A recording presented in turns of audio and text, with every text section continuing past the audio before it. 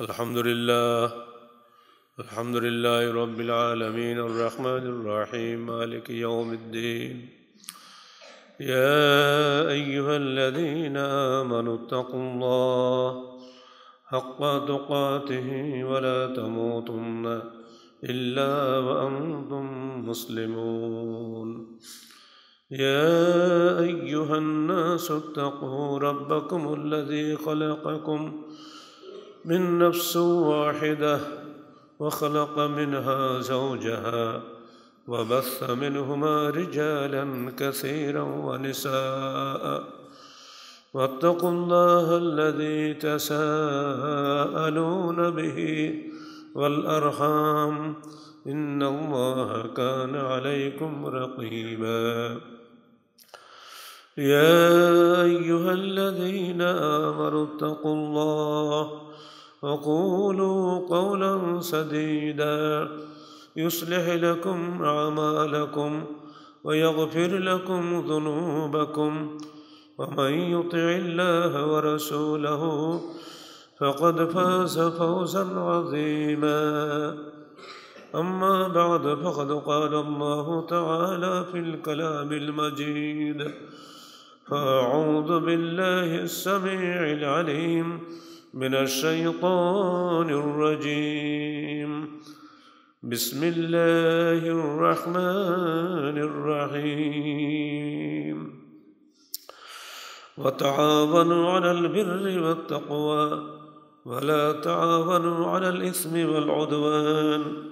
واتقوا الله إن الله شديد العقاب. سورة مائدة دو آيات. যাবতীয় হামদোসানা আল্লাহ রবুল্লা আলমিনের জন্য এবং যাবতীয় দরুদ সালাত শেষ নবী মোহাম্মদ রসুল্লাহ সাল্লাহ আলহি ওসাল্লামের জন্যে।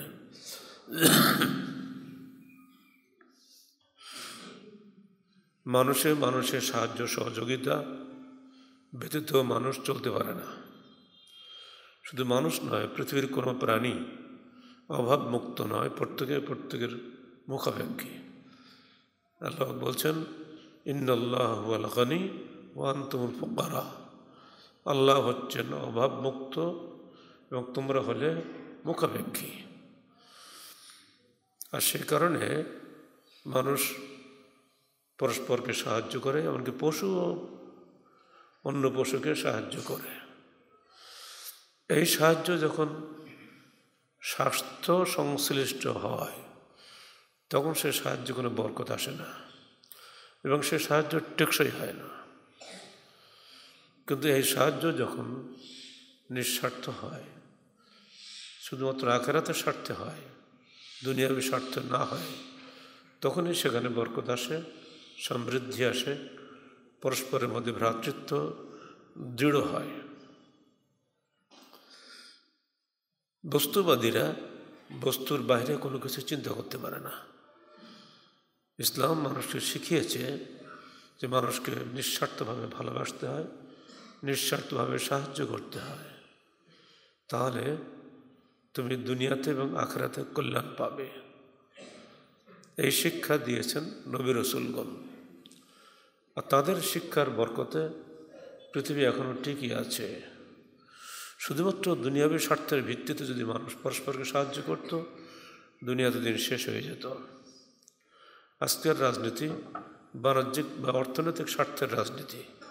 ফলে পৃথিবী ক্রমেই অগ্নিস্ফুলিঙ্গের রূপ ধারণ করেছে। সারা পৃথিবী আমাদের জ্বলন্ত হুতাসনে পরিণত হয়েছে। স্বার্থ ছাড়া কেউ কারোর সঙ্গে কথাই বলতে চায় না। এমনকি এক ঘণ্টা বক্তৃতা করলেও সে শুনতে পাচ্ছি আমাদের বিদেশি বড় নেতারা পলিটিক্যাল লিডাররা কয়েক লক্ষ ডলার পায়। আমাদের দিন আমাদেরকে এই শিক্ষা দেয়নি। তারা শিক্ষা দিয়েছে আমাদের দিন এই, তোমরা মানুষকে সাহায্য করো, নেকির কাজে, অন্যায়ের কাজে নয়। অর্থ পেলে মানুষ অন্যের কাজেও সাহায্য করে। আমরা যারা কোর্ট কাছারিতে যাতায়াত করি, এগুলো আমরা হরামশা দেখছি। চোর বাটপাড়ের পক্ষেও উকিল দাঁড়ায়, ভালো মানুষের পক্ষেও উকিল দাঁড়ায়। যাচাই বাছাই নাই। ব্যতিক্রম তো সব জায়গায় আছে, সেখানেও আছে। অনেক আইনজীবী আছেন যারা বেআইনি কাজ করেন না, অন্যায়কে সহযোগিতা করেন না। আল্লাহ বাক তাদের উত্তম যাজা দান করবেন, ইনশাআল্লাহ। আল্লাহ বলছেন ওলা অত আবনু বিরি অত্যাকোয়া আপনারা তো জানেন না যে আজকে মার্কাজে আল্লাহনের রাজশাহী বিভাগীয় প্রশিক্ষণ চলছে, যেখানে বারোটি জেলার মধ্যে নয়টি জেলা অ্যাটেন্ড করেছে। আমরা শুনে খুশি হবেন, দুই হাজার সতেরো সালের তবলিগি ইস্তেমার দিন আল আউন নিরাপদ, মাদকমুক্ত, নিরাপদ রক্তদান সংস্থার জন্ম হয়। এই গত মাত্র তিন বছর শেষ হয়েছে। ইতিমধ্যেই আজকের রিপোর্ট এই যে আড়াই হাজারের ঊর্ধ্বে মানুষকে সম্পূর্ণ বিনা স্বার্থে, বিনা পয়সায় রক্ত সরবরাহ করা হয়েছে। বলুন, আলহামদুলিল্লাহ। আমরা কোনো ব্লাড ব্যাংক তৈরি করিনি। কোনো ব্লাড ব্যাংকে রক্ত জমা রাখলে আটচল্লিশ ঘণ্টার পরে তা কার্যকারিতা থাকে না। আর আটচল্লিশ ঘণ্টা এই দুদিন সমান কার্যকর থাকে না। প্রথম যত কার্যকর হয়, শেষ দিকে আস্তে আস্তে আস্তে আস্তে কমতে থাকে। এজন্য আমরা আমাদের যারা ডোনার হয়, নিঃস্বার্থভাবে তারা ডোনার হয়ে থাকেন। আগেই বলা হয়, আপনার রক্ত যিনি দান করেছেন আল্লাহ, এই রক্ত আল্লাহর পথে আল্লাহর বান্দাকে দিতে হবে। রাজি আছেন কিনা? তিনি রাজি হলে তবে আমরা সদস্য ভুক্ত করি নাই। সেজন্য এমনকি অনেক রক্তগ্রহিতার এত গরিব যে তারা যাওয়া আসা খরচটা পর্যন্ত দেয় না। এমনকি রক্ত দেওয়ার পরে যে দুর্বলতা আসে, তখন একটু চিনি মিশ্রিত, কী যেন বলে ওটাকে? গ্লুকোজ খাওয়ানোটা নিয়ম, সেটুকু পর্যন্ত তারা কিনে দেয় না। সবটাই আমরা সংগঠনের পক্ষ থেকে দিয়ে নিজেরা করে তৃপ্তি পাই এই জন্য যে আল্লাহ পাকের একটা বান্দাকে আল্লাহ দেওয়া ব্লাড দিয়ে সাহায্য করলাম। যে ব্লাডটা আল্লাহ আমার দেহে দিয়েছেন সেই ব্লাডটা আমি আর ভাইয়ের দেহে দিলাম, তাতে সে মুমূর্ষ রোগীটা বেঁচে গেল। এই যে তৃপ্তি, এই যে আনন্দ, এর কোনো তুলনা নেই। আর যদি বোঝা যায়, এর মাধ্যমে আখরাতে জান্নাত পাবো, তাহলে তো দুনিয়া সব দেওয়ার তার পক্ষে সম্ভব। এই অনুভূতি আমরা আমাদের কর্মীদের মধ্যে সৃষ্টি করেছি কোরআন এবং হাদিসের মাধ্যমে। আর সে কারণেই আমরা আজকে আপনাদের সামনে এই আয়াতটি তেলাওয়াত করলাম। একটা মৌলিক নীতি হিসাবে। ইসলামী নীতি এই, তাহাবানু আল্লাহ বেররে ও তাকোয়া তোমরা পরস্পরকে সাহায্য করো নেকির কাজে এবং আল্লাহ ভীরুতার কাজে। ওলা তাহাবানু আল্লাহ ইসমে আল উদওয়ান তোমরা সাহায্য করো না পাপের কাজে এবং শত্রুতার কাজে। অত্তাকুল্লাহ প্রতিটি কাজে আল্লাহকে ভয় করো।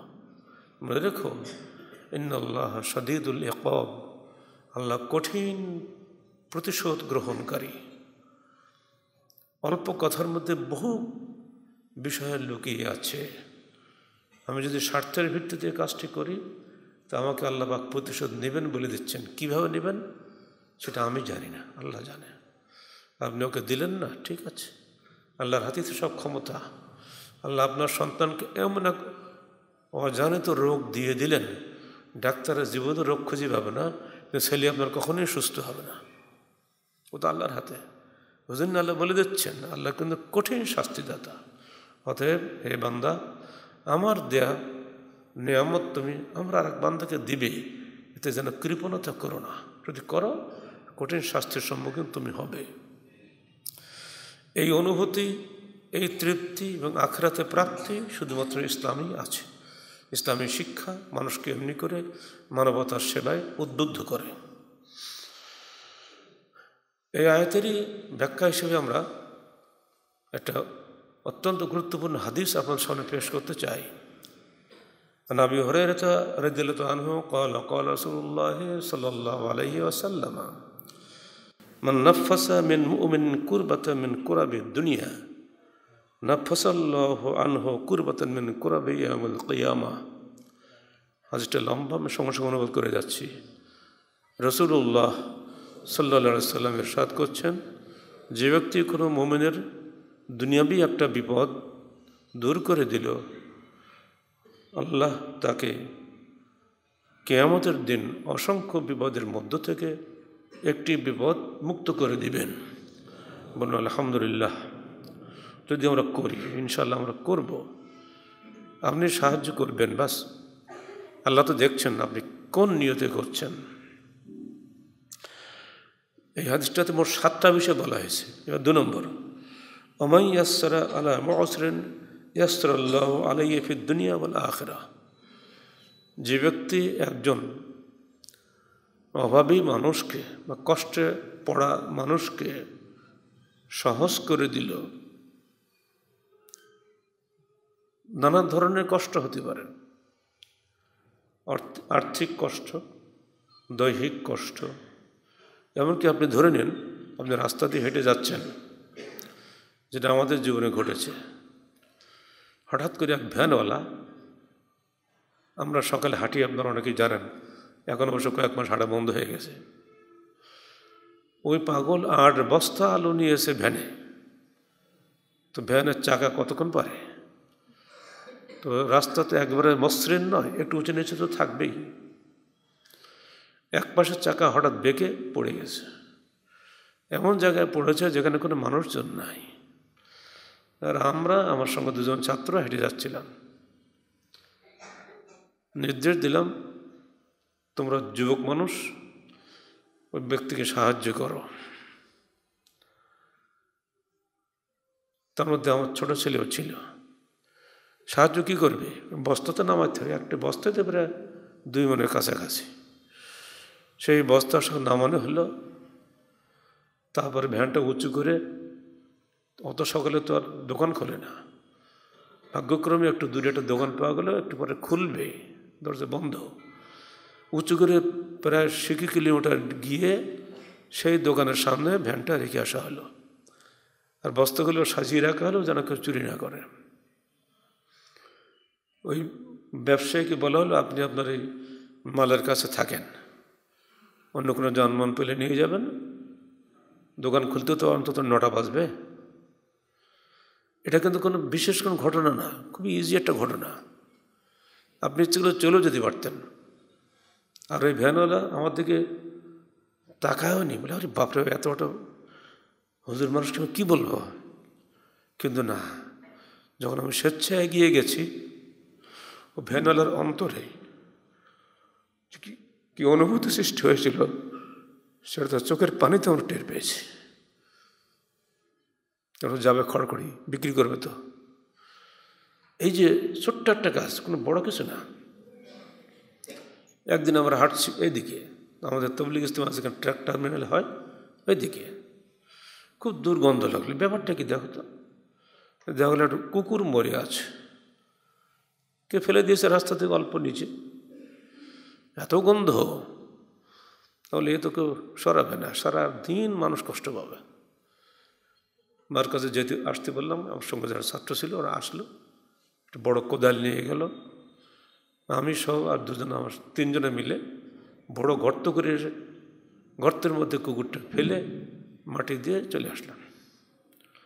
দুর্গন্ধ দূর হয়ে গেল। ইচ্ছা করলে আমাদের এখানে যথেষ্ট কর্মচারী আছে, হুকুম দিতে পারতাম, তারা করে দিত। কিন্তু তাতে নেকি থেকে মাহরুম হতাম। হুকুম দেওয়ার নেকি পাতাম বটে, কিন্তু নিজে তো আমি পারি। দেখি না সাহায্য করে কেমন কিছু করা যায়। যতটুক বেশি করব, ততটুক নেকি বেশি পাবো না। এই যে নেকির উদ্দেশ্যে কাজ করার যে মেজাজ, এটা কিন্তু মুসলমানের মধ্যেই থাকবে।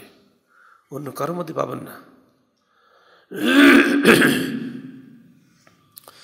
এটা কিন্তু একটা একটা হাদিসেই শেষ। যে ব্যক্তি আল্লাহর কোনো বান্দার যে কষ্টে পড়েছে, তার কষ্টকে সহজ করে দেয়। আল্লাহ পাক দুনিয়া এবং আখরাতে, একটা ছিল খালি কেয়ামতে এবার বলো দুনিয়া এবং আখরাতে তার একটি কষ্ট সহজ করে দিবেন। কোনটা দিবেন তিনি ভালো জানেন, ওটা আমি জানি না। তিন নম্বর, ওমান সাতরা মুসলিমান সাতরাউল্লাহ ফির দুনিয়া ওয়াল আখরা। যে ব্যক্তি কোনো মুসলমানের কোনো দোষ জানেন তিনি, কিন্তু ঢেকে রাখলেন। আল্লাহবাক তারও একটি দোষ দুনিয়া এবং আখরাতে ঢেকে রাখবেন। এই জন্য হাদিসের কোরআনে আসছে ইন্নআল্লাহ সত্তারুল ইউব আল্লাহ দোষ গোপনকারী। আরবি কায়দাগুলিতে আল্লাহ নিরানব্বইটা নাম আছে না? তার মধ্যে ইয়া সত্তারও নাই। সত্তার অর্থ কি? গোপনকারী। কি গোপন করে? বান্দা যেটা গোপন করে, আল্লাহ সেটা গোপন রাখেন। কিন্তু আমাদের মিডিয়াগুলোর কাজকামটা কী? কেউ হয়তো একটা অন্যায় কাজ করে ফেলেছে, হয়তো সে তবাও করেছে, কিন্তু না। মিডিয়ার অত্যাচারে আর তবা করা যায় না। একেবারে সঙ্গে সঙ্গে সারা পৃথিবীর লোক জেনে যাবে এই লোকটাই অন্যায় করেছে। মিডিয়া ভাইরা সাবধান সব কিছুই প্রচার করা ঠিক নয়। চার নম্বর, আল্লাহ ফি আউনে লাবদে মা কান লাবদ ফি আউনে আখি হে আল্লাহ বান্দার সাহায্য যতক্ষণ থাকেন, যতক্ষণ বান্দা তার ভাইয়ের সাহায্যে থাকে। ভাষাটা খেয়াল করবেন। ভাইয়ের সাহায্যে থাকে। ভাই বলতে শুধু নিজ দলের ভাই না, আদম সন্তান সবাই আপনার ভাই। একজন হিন্দু, একজন বৌদ্ধ, একজন খ্রিস্টান, একজন চাকমা, একজন মারমা। কত ধরনের মানুষ তো পৃথিবীতে আছে আজ না? বাংলাদেশে তো শুধু খাগড়াছড়ি, পার্বত্য চট্টগ্রামে পঁয়ত্রিশ জাতির লোক আছে। কিন্তু সবার রক্ত কিন্তু একই। সবারই পিতাকে আদম আলাইসালাম সবারই মাকে হাওয়া আলাইসালাম সেদিক দিকে তারা আমাদের ভাই নয়।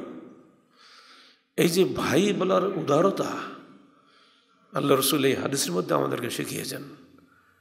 কানা ফি আউনিল আব্দে আল্লাহ ফি আউনিল আব্দে মা কানাল আব্দ ফি আউনে আখি হে বান্দা যতক্ষণ তার ভাইয়ের সাহায্যে থাকে একটা মানুষ যখনই বিপদে পড়ছে, তখনই আপনি এগিয়ে যাবেন। সে তার জাতি, ধর্ম, বর্ণ, অঞ্চল আদৌ চিন্তা করা যাবে না। সে মানুষ। এই বিপদে আমিও পড়তে পারতাম। সে হয়তো আমাকে সাহায্য করত। এই যে উদার মানসত, মানসিকতা এই মানবতার সর্বোত্তম চেতনা আমাদেরকে, আমাদের শেষ নবী মোহাম্মদ রসুল্লাহ সাল্লা সাল্লাম হাদিসের মাধ্যমে শিক্ষা দিয়ে গেছেন। আর এই আউন শব্দ থেকেই আমাদের রক্তদান সংস্থার নাম রেখেছি আমরা আল্লাহ আউন আর কোরআনে তাহাবনু আল আল বীর তাকুয়া ওখানেও এসছে আওন সাহায্য।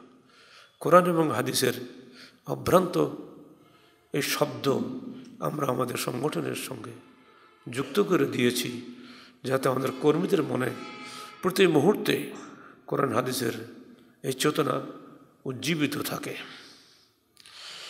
পাঁচ নম্বর অমন সালাকা তরিকান এলতামসফিহে ইলমান সাহাল্লাহ লাহু সাহাল্লাহ বিহি তরিকান ইলাল জান্না যে ব্যক্তি কোনো এলেম শিক্ষার স্থলে এগিয়ে যায়, আল্লাহ পাক তাকে জান্নাতের পথ সহজ করে দেন। আমরা প্রতি জুমায় এখানে খোদ্া শুনি, কোরআন হাদিস শোনার জন্যই কিন্তু আমরা আসি। এর মাধ্যমে আমাদের অনেক কিছু জানা হয়, ফলে আমাদের জান্নাতের পথ সহজ হয়। যেখানে কোরআন হাদিস বলা হয় না খালি রাজনৈতিক বক্তৃতা দেওয়া হয়। ওটা তো জান্নাতের পর সহজ হয় না বড় অন্য কিছু হয়। এজন্য শর্ত দেওয়া হচ্ছে, মান সালাকা তরিকানে আলতাম সফিহি ইলমান যে ব্যক্তি ইলেম শেখার উদ্দেশ্যে কোনো রাস্তা গমন করে সাহাল্লাহ বিহি তরিকানের জান্না আল্লাহ তাকে জান্নাতের রাস্তায় যাওয়ার পথ সহজ করে দেন। ছ নম্বর কৌমন ফি বাইতমিন বইউতিল্লাহ এতলুন কিতাব আল্লাহ এত দা রসুন হো যখন একদল মানুষ আল্লাহর কোনো ঘরে বসে, এবং সেখানে আল্লাহর কিতাব তেলাওয়াত করে এবং আপসে পর্যালোচনা করে, ইল্লা গাছিয়াতম রাহমা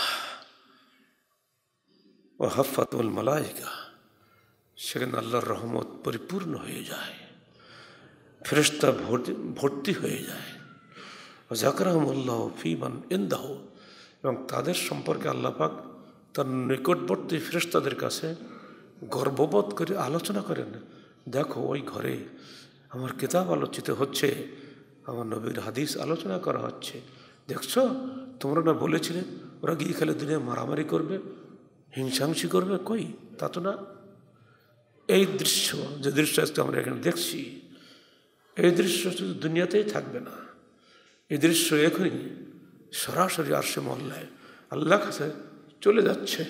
এটাই কি আমাদের সবচেয়ে বড় পাওয়া নয়? যদি সেদিন আমাদের এই চেহারাগুলি আল্লাহ পাকের কাছে মঞ্জুর হয়ে যায়, ইনশাআল্লাহ এই মসজিদের মুসলিরা সবাই জান্নাতি হয়ে যেতে পারেন। আল্লাহ যদি আমাদেরকে কবুল করেন। বিহি আমলহু, সাত নম্বর। লাম ইউসরে বিহি নাসাবহু। যার আমল তাকে পিছিয়ে দিল, তার বংশমর্যাদা তাকে এগিয়ে দিতে পারবে না। এটা অত্যন্ত মৌলিক কথা। ইব্রাহিম আলাই সাল্লাতাম আল্লাহ কাছে প্রার্থনা করেছে, আল্লাহ, তুমি আমাকে বিশ্ব মানবতার নেতা করলে। অজাল্লাহ মোত্তাকিন ইমামা। তুমি আমাদের মোত্তাকিদের নেতা করলে, খুশি হলাম। কিন্তু আমার বংশধরদের মধ্যেও তুমি এরকম করো। আল্লাহ জবাব দিলেন লাইয়ানাল আহাদে জলেমিন আমার এই উচ্চ মর্যাদা কোনো জালামকে আমরা দেই না। যদি বোঝা গেল বংশমর্যাদা কাউকে উচ্চ পর্যায়ে নিতে পারে না, যদি তার মধ্যে নেক আমল থাকে তাহলে তাহলে সৎকর্মের প্রতি উদ্বুদ্ধ করার জন্য হাদিসের এই সপ্তম অংশটি যথেষ্ট। এবার দেখেন, যে কোনো একটি তাজা প্রাণকে সাহায্য করার কথা আল্লাহ রসুল আমাদেরকে শিক্ষা দিচ্ছেন। এর সঙ্গে একটা ঘটনা আছে। তিনি বলছেন, দেখো, বন অস্ট্রেলিয়ার একজন মহিলা বেশ্যা রাস্তা দিয়ে যাচ্ছিল, হঠাৎ দেখল যে একটা কুকুর জিপ বের করে হাঁসফাঁস করছে। মহিলা বুঝলো যে এই কুকুরটি তৃষ্ণার্থ। সেখানে কেউ নাই, মরুভূমিতে বুঝতেই পারছেন, বিশাল রাস্তা লোকজন পাওয়া যায় না। আরবরা পায়ে চামড়ার মোজা পরে। আমরা তো সুতি মোজা পরি। ওই মহিলা কুয়ার ভেতরে নেমে গেল। অনেক কুয়া গভীর। কারণ মরুভূমিতে পানি অনেক নিচে থাকে। নিচে গিয়ে মোজা ভরে পানি এনে উপরে এসে কুকুরটাকে পানি পান করালো। কুকুরটা পানি পান করে দুই চোখ ওভারঅল ধরে অস্ত্র প্রবাহিত হচ্ছে কুকুরের। মানে সে তো কথা বলতে পারে না। তার চোখের পানি বলে দিচ্ছে, সে বেঁচে গেছে, সে কত খুশি হয়েছে। এই ঘটনা বলার পরে আল্লাহ রসুল বললেন, এই নেক কাজ করার জন্য ও বেশ্যা মহিলা আল্লাহর কাছে ক্ষমা প্রার্থ হয়ে জান্নাতে চলে গেল। সাহাবে কেরম বললেন, হে আল্লাহ রসুল একটা বেশ্যা কুকুরকে পানি খালো তাতেই জান্নাতে চলে গেল। তখন একটা মৌলিক কথা আল্লাহ রসুল বললেন, দেখো ফিকুল্লে জাতে কাবেদিন রত, রুতবাতিন ফিকুল্লে জাতে কাবেদিন রতবাতিন, আজরুন, প্রত্যেক তাজা প্রাণের জন্য পুরস্কার রয়েছে। এক কথা শেষ, তাজা প্রাণ, সে মানুষ হোক, পশু হোক, পাখি হোক, যে কিছুই হোক না কেন এটা তাজা প্রাণ যদি আপনি বাঁচিয়ে দেন, তার জন্য আপনি ইনশাল্লাহ আল্লাহর কাছে পুরস্কার পাবেন। পুরস্কারের নিয়তে আপনি কাজ করুন।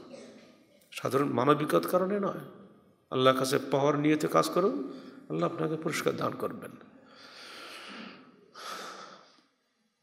ওইখানে পরপর তিনটা হাদিস আসছে। একজন মহিলা বিড়ালকে বেঁধে রেখেছে। খেতে দেয় না। বিড়ালটা ডিস্টার্ব করে, ও রাগ হয়ে গেছে। শেষকালে বিড়ালটা এক পর্যায়ে না খেতে পেয়ে মারা গেল। রসুল্লাহ সাল্লাম বললেন, ওই মহিলা, এই অন্যায় কাজ করার জন্য এই একটা অসহায় প্রাণীকে না খেতে দিয়ে হত্যা করার জন্য সে জাহান্নামে হয়ে গেল। হয়ে গেল সঙ্গে সঙ্গে। ঠিক পরেই আর একটা হাদিস এসছে। রসুল্লাহ সাল্লাম বলছেন, যদি কোনো মানুষ রাস্তায় কোনো গাছ যে গাছ রাস্তার মানুষের চলাচলে বাধা সৃষ্টি করছে যদি সে গাছটা কেটে সরিয়ে দেয়, সে ব্যক্তিও জান্নাতবাসী হবে। এই জন্যে পরপর তিনটে হাদিস বললাম এ কারণে যে এতেও আমাদের যে নেকি আছে, এটা আমরা যেন মনে করি। আরেকটা হাদিস আপনাদের কাছে খুবই সুপ্রসিদ্ধ, যেখানে আল্লাহ রসুল বলছেন, দেখো ইমানের সত্তরের অধিক শাখা আছে। সর্বোচ্চ হল লাইলাহ ইল্লাল্লাহ। আল্লাহ ব্যতীত কোনো উপাসনা নেই। আর সবচেয়ে নিম্ন কোনটা? ইমাতাতুল্লাহ আদা মানে তারিখ রাস্তা থেকে কষ্ট দূর করা। আমরা সবাই রাস্তা দিয়ে হাঁটি। যদি এটুকু আমরা চিন্তা করতাম, তাই তো এই যে কলার খোসা পড়ে আছে, যদি সরিয়ে দিই, তাহলে গাড়ি অ্যাক্সিডেন্ট হবে না। মানুষের কষ্ট হবে না। একটু পা দিয়ে ঠেলে দিলাম বা সঙ্গে কেউ থাকে তাকে বললাম, ভাই, এটা ফেলে দাও। এটা বললেও কিন্তু নাকি পাবেন। একটু কাজও কিন্তু আমরা করি না। ফলে ছোট্ট বিষয়ের জন্য বড় কোনো দুর্ঘটনা ঘটে যেতে পারে। আজকে যত হুন্ডা অ্যাক্সিডেন্ট হয়, অধিকাংশ কলার খোসায় হয় আর সামনে কুকুরের কারণে হয়, সাইড দিতে গিয়ে হয়। অতএব ছোটোখাটো বিষয়গুলিও শুধু হাদিসের নির্দেশ মনে করে এবং এর বিনিময়ে আখেরাতে আমরা সর্বোচ্চ সম্মান পাবো। এই মনে করে যদি আমরা কাজটা করি, তাহলে জাতি অনেক অমঙ্গল ও অকল্যাণ থেকে বেঁচে যাবে। আল্লাহনের সৃষ্টির উদ্দেশ্য কিন্তু এটাই। আপনারা যারা জ্ঞানী মানুষ তারা বুঝতেই পারেন যে আমি আমার দেহের কোনো খবর রাখি না। দেহটা সুন্দর হয়েছে এর পর্যন্ত জানি। ভেতরটা কীভাবে চলে আমরা জানি না। রক্ত যদি দেহে না থাকে, দেহ কি চলবে? দেহের মূল সঞ্জীবনী শক্তি হচ্ছে রক্ত। এই রক্ত মানুষের তৈরি করতে পারে না। বিজ্ঞানীরা খুব চেষ্টা করেছেন, কিন্তু না, রক্ত তৈরি করতে পারেন নাই। আপনারা কি জানেন রক্তের খবরটা কি? প্রতি চার মাস পরে রক্তের লোহিত কণিকা মরে যায়, আবার পুনর্জন্ম লাভ করে। প্রতি সপ্তাহকাল পরে রক্তের শ্বেতকণিকা মরে যায়, আবারও জন্ম লাভ করে। এই যে প্রতিদিন, প্রতি সপ্তাহে, প্রতি মাসে মাসে আমাদের দেহে রক্ত মরে যাচ্ছে এবং জন্মলাভ করছে। কেউ কি কখনো ভেবেছেন, কে এই রক্ত জন্ম দিচ্ছে, কে এই রক্ত মেরে ফেলছে, কে কে পুনর্জন্ম দিচ্ছে? একবার কিন্তু আমরা চিন্তা করি নাই। এই জন্ম, মৃত্যুর খেলা যখন বন্ধ হয়ে যাবে, তখন আমি মৃত বলে ছেলে মেয়েদের কাছে পরিচিত হব। রক্ত আর জন্ম নিচ্ছে না। শুধু রক্ত নিয়ে চিন্তা করছেন কেন? দেহের প্রতিটি অঙ্গ প্রত্যঙ্গ এরকম গুরুত্বপূর্ণ। অতএব এই রক্তর বিষয়টি দল মত নির্বিশেষে স্থানকাল, অঞ্চল, ভাষা নির্বিশেষে সকল মানুষের কাছে অত্যন্ত গুরুত্বপূর্ণ। আর আমাদের উদ্দেশ্যই এই যে এই রক্ত যিনি দান করেছেন মহান আল্লাহ সেই আল্লাহ সৃষ্ট বান্দা, যে কোনো তাজা প্রাণের উদ্দেশ্যে এই রক্ত আমি দান করব। আপনি কিন্তু ভালো খাওয়া দাওয়া করছেন, কিন্তু আপনার শরীর স্বাস্থ্য ভালো হচ্ছে না। বয়স সত্তর পেরিয়ে গেছে। হাদেশে এসেছে যে আমার উন্মতের বয়স সীমা ষাট থেকে সত্তরের মধ্যে। আমরা এখন সত্তর বছর পার করে বোনাস লাইফ এনজয় করছি। দেহে শক্তি কমে গেছে। আমরা কিন্তু খাই আগের চেয়ে তো অনেক ভালো। ছোটোবেলায় খেতাম পান্তা ভাত। তো জাতা পান্তা না। ভালো করে না পচলে পান্তা মজা লাগতো না। খেতাম ডাল। টাটকা ডাল না। দু, তিন দিন ডালটা যদি টক হয়ে যায়, ওই ডালের যে কি মজা, যারা খায়নি তারা জানে না। আর গুড়, পচা গুড় খেতে হবে পচা গুড় যাতে পোকা ওঠে, টক গুড়, এবং সেই সাথে যদি সেখানে নারকেল থাকে ওর মজা আলাদা। এই পচা গুড়, পচা পান্তা খেয়ে ছোটোবেলায় আমাদের জীবন কেটেছে। কিন্তু শক্তি ছিল অনেক বেশি। খেতে বসে যদি দেখতাম যে নারকেল নাই, দৌড়ে চলে গেলাম। নারকেল নারকেল গাছে উঠে। নারকেল গাছে ওঠাটা সহজ ব্যাপার নয়। নারকেল গাছে উঠে নারকেল পেড়ে ছিলে সেই নারকেল দিয়ে গুড় দিয়ে ভাত খেলাম। তাহলে তখন ছোটোবেলায় আমাদের শক্তি কেমন ছিল বুঝে নেন এমনকি বিশ্ববিদ্যালয়ের শিক্ষক হওয়ার পরেও উনিশশো একাশি সাল পর্যন্ত আমি নিজে তাল গাছে উঠে তাল পড়েছি। অথচ তখন কিন্তু উৎস ছিল পচা পান্তা, পচা গুড় এইসব। আর এখন তার চেয়ে অনেক ভালো খাওয়া দাওয়া করি। ছেলেবেলেরা আপেল, কমলা কত কি খাওয়াচ্ছে। কিন্তু আর তো শক্তি পাই না। এখন হাঁটতে গেলেই কষ্ট হয়। এটুকু এসছে তো দেখলেন তোমরা অটো গাড়িতে চলে আসলাম হাঁটতেও পাচ্ছি না। খাওয়া কিন্তু কমতে নাই। কে আপনার মধ্যে শক্তির যোগান দিচ্ছে? আপনার ছেলে দুদিন না খেয়ে থাকলেও থাকতে পারে।